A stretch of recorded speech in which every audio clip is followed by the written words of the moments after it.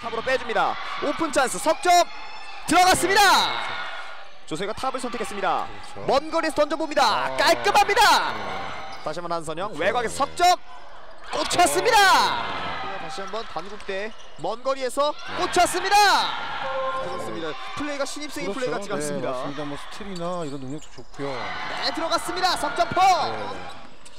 한선영 한선영 돌파 이후에 두점 어. 레이업 올려놓았습니다. 그렇습니다. 아, 네. 조서희가 김현수에게 네. 김현수가 다시 이번 외곽으로 외곽 석점 꽂혔습니다. 공격 리바운드 잡아냈고요. 네. 탑에서 오픈 찬스 석점 들어갑니다.